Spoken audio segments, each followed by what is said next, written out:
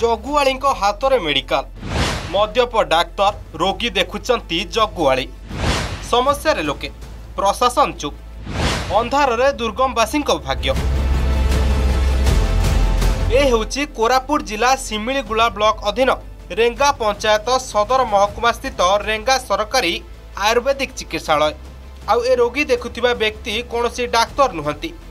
ଚିକିତ୍ସାଳୟରେ ନିଯୁକ୍ତ ରାତ୍ର ଜଗୁଆଳୀ ମାନସ ରଞ୍ଜନ ପଣ୍ଡା କରୁଛନ୍ତି ରୋଗୀ ସେବା। କାହିଁକି ନା ଏଠାରେ ନିଯୁକ୍ତି ହୋଇଥିବା ଡାକ୍ତର ଦିନ ରାତି ଚବିଶ ଘଣ୍ଟା ମଦ ନିଶାରେ ରହୁଛନ୍ତି। ମାସକୁ ଯେଉଁ ଦୁଇ ତିନି ଥର ରେଙ୍ଗା ଚିକିତ୍ସାଳୟ ଆସନ୍ତି ସେଥିରେ ନିଶାରେ ରହି ରୋଗୀଙ୍କୁ ଗାଳି ଗୁଲଜ କରୁଥିବା ଅଭିଯୋଗ କରିଛନ୍ତି ରୋଗୀ। ଅନ୍ୟ ଡାକ୍ତର ଗହଣରେ ରହି ଶିଖିଥିବା ଚିକିତ୍ସା ପଦ୍ଧତି ଦ୍ୱାରା ଲୋକଙ୍କୁ ଚିକିତ୍ସା କରୁଛନ୍ତି ମାନସ।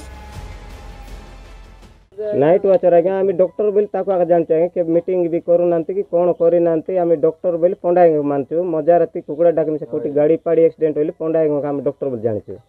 ଆରେ ଡକ୍ଟରକୁ ଏପର୍ଯ୍ୟନ୍ତ ଆମ ରେଙ୍ଗା ପଞ୍ଚାୟତ ଲୋକ ବି ଜାଣିନୁ। ଯେତେବେଳେ ଗାଡ଼ି ପାଡ଼ି ଆକ୍ସିଡେଣ୍ଟ ପେସିଡେଣ୍ଟ କି ମୋଟରସାଇକେଲ ମିଶା କେ ବାଇକ୍ରୁ ପଡ଼ିଗଲେ ପଣ୍ଡାକୁ ଆଜ୍ଞା ଆମେ ଡକ୍ଟର ବୋଲି ଜାଣିଛୁ। ମାତ୍ର କୋଉଠି ଅଫିସ୍ ଅଛି ଅଫିସ୍ ବି ଆମେ ଜାଣିନୁ। ଅଫିସ୍ ଖୋଲାଉଛି ମାତ୍ର ଡକ୍ଟର ଆସୁନାହାନ୍ତି। ଡକ୍ଟର ଆସୁନାହାନ୍ତି। ଆଚ୍ଛା କ'ଣ ଆପଣ ଯଦି କ'ଣ ଅସୁବିଧା ହେଲେ ଯାଉଛନ୍ତି କିଏ ଟ୍ରିଟମେଣ୍ଟ କରୁଛନ୍ତି? ପଣ୍ଡା ଆଜ୍ଞା କରୁଛେ। ପଣ୍ଡା ଆଜ୍ଞା କ'ଣ ଅଛନ୍ତି?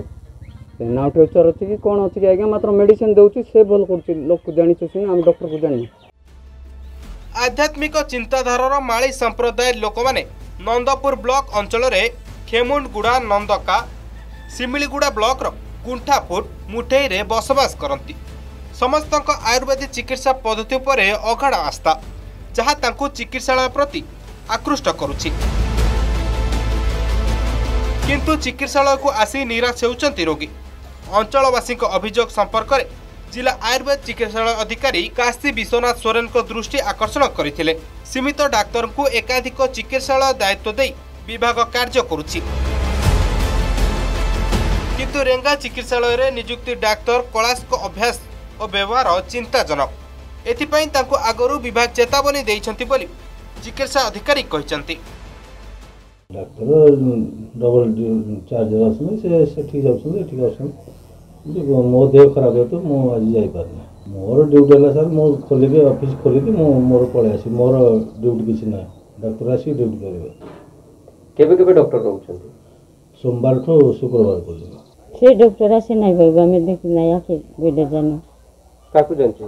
ଏ ଫୁଣ୍ଡାକି ଆସି ତୋର ଦେହ ଖରାପ ହେଲେ କେମିତି ଯାଉ କ'ଣ କିଏ ଦେଉଛି ମେଡ଼ିସିନ ଏ ଫୁଣ୍ଡାକି ଆସି ଦେଇଥାନ୍ତି ତେବେ ଦୁର୍ଗମ ଅଞ୍ଚଳରେ ଶିକ୍ଷା ସ୍ୱାସ୍ଥ୍ୟ ଓ ପାନୀୟ ଜଳ ପରି ଅନେକ ସମସ୍ୟାର ସମାଧାନ ପାଇଁ ଖର୍ଚ୍ଚ ହେଉଛି କୋଟି କୋଟି ଟଙ୍କା। କିନ୍ତୁ ଏଠାରେ ରୋଗୀଙ୍କୁ ସେବା ଦେବା ବଦଳରେ ବିପଦ ସମ୍ମୁଖକୁ ଠେଲି ଦିଆଯାଉଛି। ନନ୍ଦପୁରରୁ ହରେଶ ଖିଲରଙ୍କ ରିପୋର୍ଟ ଅର୍ଗସ୍ ନ୍ୟୁଜ୍।